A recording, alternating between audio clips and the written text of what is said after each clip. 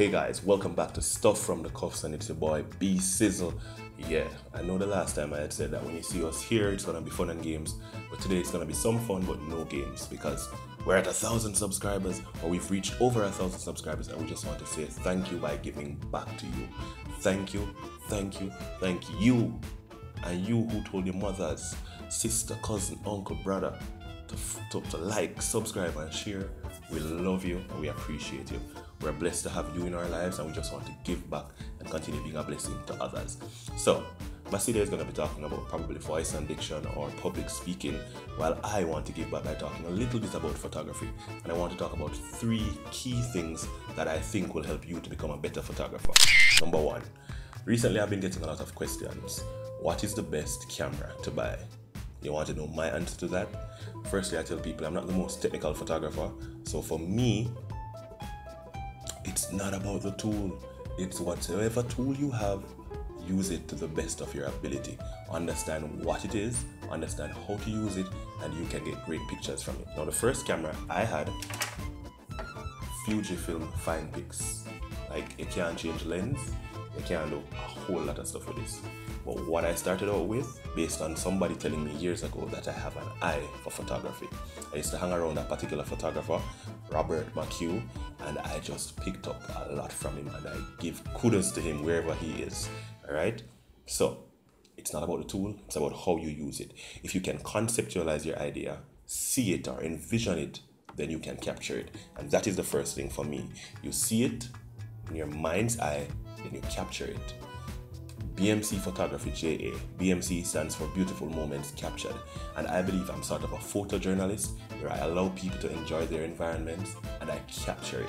And by thinking about what they can possibly do because of their potential, then I go ahead and I get it. And that is what makes a good photographer, firstly.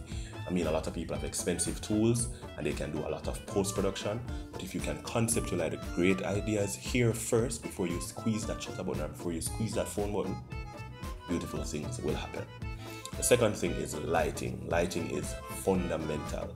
If you don't have a proper lighting, you will not have a proper image.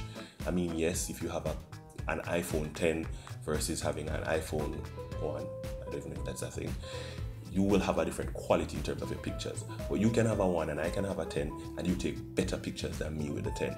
Lighting is most important. I'm a person who loves natural lighting, so I don't really spend a lot on, on artificial lighting. I have to because I'm expanding my photography, but if I can do what I can do in natural light, I love it. Let's look at lighting quickly. So, lighting is all about helping that image to actually be focused, to help that image to have a lot of detail, to help that image to have depth, contrast, so many things. So, without light, let's look. See the difference? That's one. So in in TV and photography, there there is something called a three-point lighting system, which is the basic lighting setup, and you'd have a key light, a fill light. So this would be my key light. Light to my right would be my fill light, and I would have a background light, which I believe in this case would actually be my roof light. So you get a different look each time.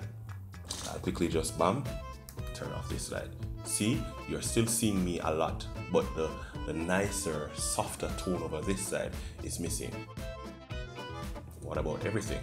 So this is just having natural light. Natural roof light. This is the difference. So if you can understand how lighting helps to add to your photography, or even by changing the color of the light, right? Get a different look, you get a different feel, you get drama, you get excitement, you get a newsy feeler, an important interview type of setting. So if you understand all of these things, that is the first fundamental that will help you to have better pictures. Make sure you have good light. If you don't have a phone, what kind of night photography or a camera, what kind of night photography, don't think you're going to take a picture in the night and it looks good. Final thing I want to look at today is composition techniques. Now, no matter how good you are, if you don't understand the composition techniques and apply them, then your pictures will be just bland, or in other words, them alright. So things such as rule of thirds, depth of field, full frame, point of view, taking a picture from a different angle, up high, down low, all of these things will help. And I'll take a couple pictures with the help of Renee of What a Difference Photography. I'll take three different pictures with different lighting and show you what the difference will look like.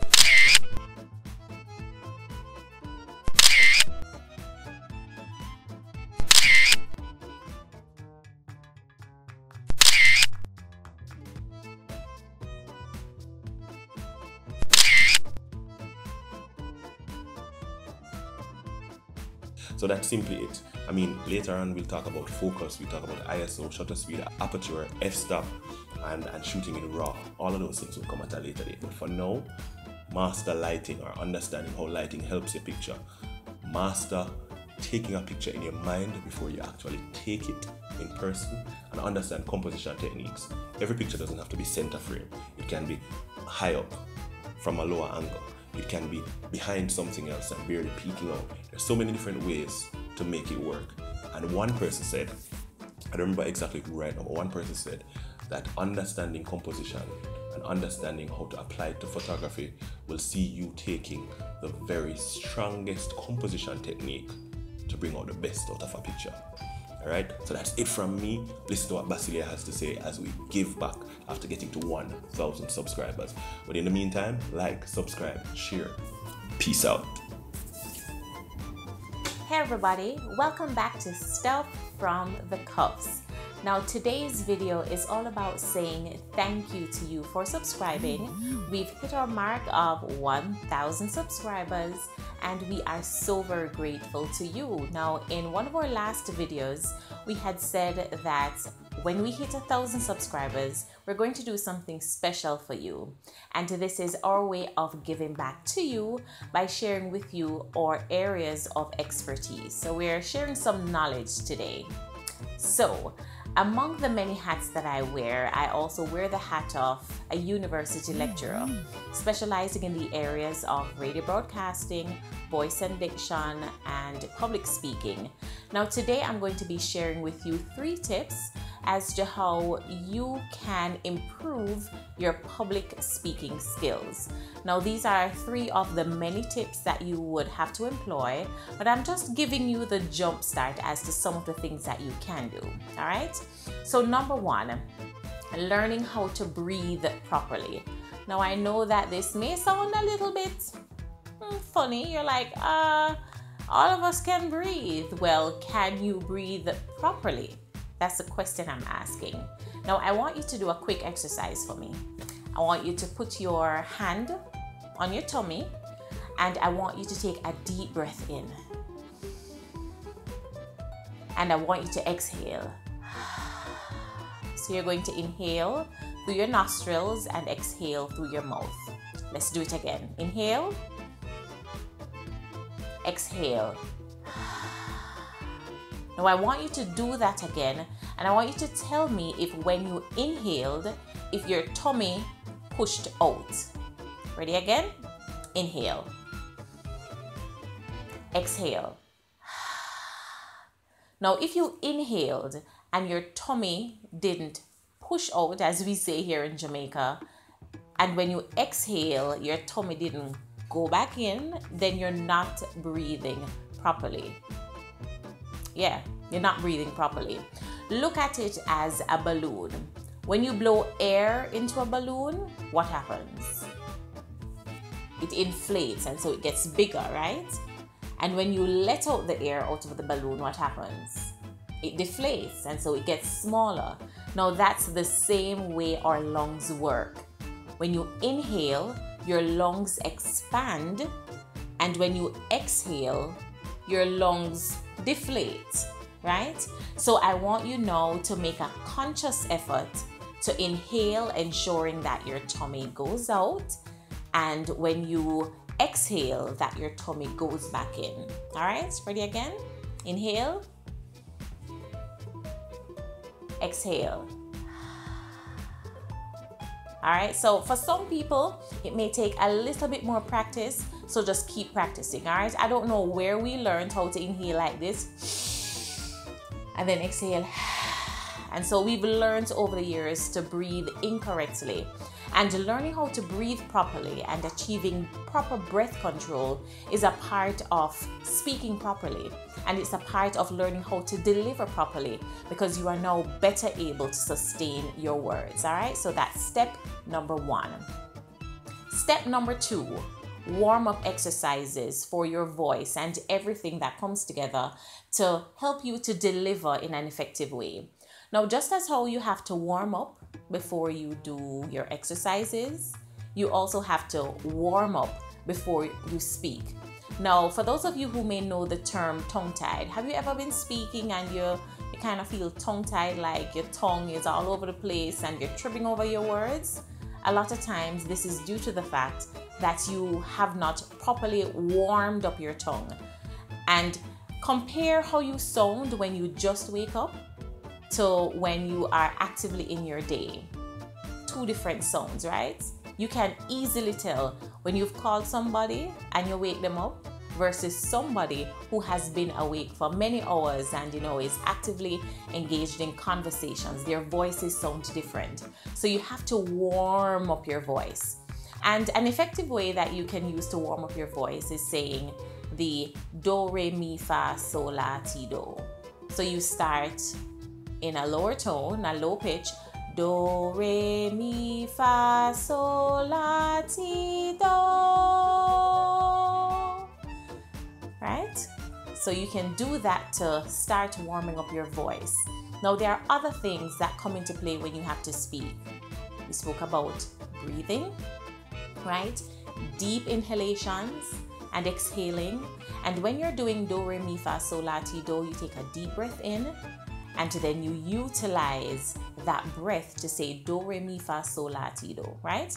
And then I want you to warm up your jaw so, a quick exercise that you can do you make two fists and you warm up your jaw in circular motion. So, you're kind of giving your face a massage, yeah?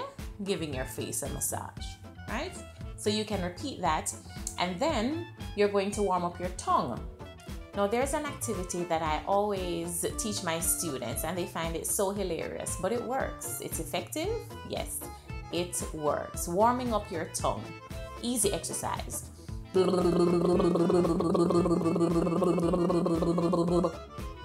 Right? You may not get it at first, but you can keep practicing. Now, what this activity does is to help your tongue to become active quickly so that you can avoid getting tongue tied.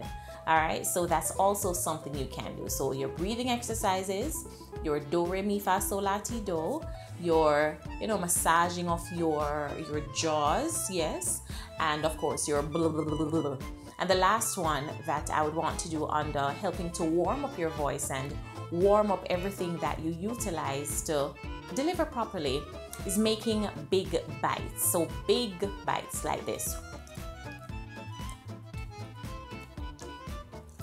so what this does is to help your jaw to be ready. Yes, your jaw muscles to be ready for speaking. So that covers your warm up exercises. And the last point that I'll share with you today as to how you can improve your delivery skills or your presentation skills or your public speaking skills is utilizing inflections. Now, what are inflections? Inflections has to do with the upward or downward movement in the pitch of your voice. Now, what this does is it helps you to not sound monotonous. It helps you to not sound boring, right? Imagine speaking to somebody or imagine listening to someone who is speaking on one level. After a while, you become bored, you become disinterested, and you're not really trying to hear what that person is saying. You want to ensure that you utilize the pitch in your voice in an upward and downward movement so that you can keep your audience engaged. So you hear me speaking to you, and at this moment, I'm utilizing my upward inflection. And then I go into utilizing my downward inflection just to ensure that I don't always sound like I'm speaking in the same pitch, in the same tone, and I'm giving you variety. Now, when you utilize the upward and downward movement in your voice, you keep your audience engaged, you grab your audience's attention, and you keep them for the duration of your speaking engagement. If I'm talking to you on one straight level, then there is no guarantee that I will keep your attention. But if I utilize my upward and downward movement in the pitch of my voice, then I stand a better chance of keeping you entertained, keeping you engaged, and of course, giving you the information that I want to deliver in an effective way. So, those are three things that I want you to keep in mind before you do your next presentation, before you do your next public speaking engagement. Breathing properly, warm up exercises for your voice and everything that comes together to help you deliver, and of course, utilizing the upward and downward movement in pitch with your voice to add a little flavor to your presentation to help you to avoid sounding monotonous. All right, so that's my gift to you in terms of us saying thank you. Thank you for watching. Thank you for subscribing. Thank you for liking and be sure to leave us a comment. All right, this has been another edition of Stuff from the Cuffs. Later.